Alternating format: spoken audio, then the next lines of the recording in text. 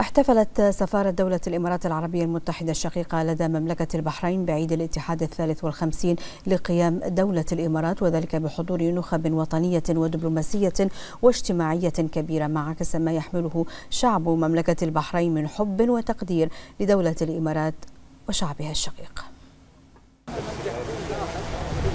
تحت أضواء المساء وفي أجواء تسودها مشاعر الفخر والاعتزاز. بدأ الحفل بالنشيدين الوطنيين لدولة الإمارات العربية المتحدة الشقيقة ومملكة البحرين وكأنهما يجسدان وحدة المصير وروح التلاحم الخليجي. موقع متحف البحرين الوطني الذي احتضن هذا الحفل بدا وكأنه لوحة فنية تنبض بقصة النجاح الإماراتية التي تمتد لأكثر من خمسة عقود. إحنا علاقتنا الوطيدة ما بين مملكة البحرين ودولة الإمارات العربية الشقيقة هي علاقات ممتدة من الجذور ونطلب من الله سبحانه وتعالى أن تمتد إلى الأبد إن شاء الله. هذه المناسبة عزيزة علينا وغالية. نتمنى التوفيق آه، للجميع بدولة آه، الإمارات. لأن فعلا علاقاتنا إحنا متميزة. ومثل ما خبرتك سواء سواء على مستوى القيادة أو على مستوى الحكومة أو على مستوى حتى البرلمان. وجهة جلالة الملك آه، حمد بن عيسى الخليفة حفظه الله ورعاه.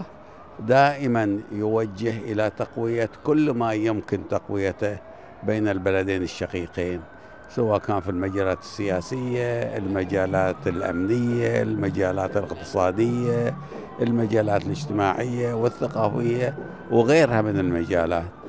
فنحن الحمد لله سعيدين أن نكون يعني آه، يعني تحظى هذه العلاقات بالتميز الذي يمكن الكثير من الدول لا تحظى بهذه العلاقة. الاحتفال تحدث بلغة الإنجازات مذكرا الحضور بمسيرة وطن كان الاتحاد أساسه والطموح دليله. ثلاثة وخمسون عاما من الريادة جعلت من الإمارات العربية المتحدة نموذجا عالميا في التطوير والتقدم. الكلمات التي ألقيت في الحفل لم تكن مجرد عبارات احتفالية بل كانت إشادة بمسيرة عظيمة ومسعى مستمر نحو المستقبل الذي تتجلى ملامحه في كل خطوة تخطوها الإمارات. اليوم سعيد جدا بتواجدي في احتفال السفارة الإماراتية بعيد الاتحاد لدولة الإمارات العربية المتحدة آه، كل التهاني والتبريكات لدولة الإمارات العربية المتحدة قيادة وشعبا بهذا اليوم آه، اللي نعتبره جزء من احتفالات البحرين أيضا ومن عيادها الوطنية آه، دولة الإمارات آه، والروابط الوثيقة بين البلدين بقيادة سيدي صاحب الجلالة الملك حمد بن عيسى الخليفة وأخوه سمو الشيخ محمد بن زايد. الروابط دائما تتوثق وتتعزز على جميع المستويات سواء على المستوى الحكومي أو على المستوى المجتمعي أو على المستوى الثقافي فهنيئا آه، لدولة الإمارات هذا اليوم إن شاء الله بإذن الله آه، تدوم الأعياد وتتجدد بإذن الله في أمن ورخاء ونماء بإذن الله. في البداية نرفع سمايات التهاني والتبريكات إلى مقام سيدي صاحب السمو الشيخ محمد بن زايد آل نهيان وإلى صاحب السمو الشيخ محمد بن راشد آل مكتوم نائب رئيس الدولة رئيس مجلس الوزراء حاكم دبي وسمو الشيخ منصور بن زايد آل نهيان نائب رئيس الدولة نائب رئيس مجلس الوزراء رئيس ديوان الرئاسة وإلى سيدي سمو الشيخ خالد بن محمد بن زايد ولي عهد أبو ظبي وحكام دولة الإمارات وشعب دولة الإمارات. في البداية نشكر مملكة البحرين قيادة وشعبا على هذه الحفاوة والمشاركة في هذه الأفراح.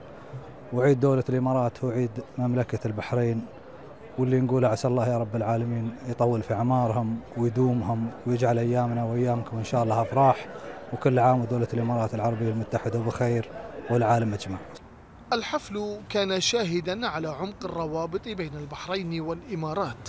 الحضور من المسؤولين وأعضاء السلك الدبلوماسي جاءوا ليشاركوا الأشقاء فرحتهم معبرين عن اعتزازهم بالعلاقات التي تجاوزت حدود الدبلوماسية لتصبح نموذجا للتآخي والتلاحم الخليجي. الإمارات والبحرين قصة عشق لا تنتهي. يشهد لها تاريخ عريق وعلاقات وطيدة وشعبين متحابين متعاضدان في مختلف الظروف والأحوال. أرسلتها هذه الرسالة جموع من حضر لتهنئة سفارة دولة الإمارات العربية المتحدة الشقيقة بمناسبة احتفالها بأعيادها الوطنية الثالثة والخمسين هنا من قلب العاصمة المنامة. يحيى العمري لمركز الأخبار. تلفزيون البحرين.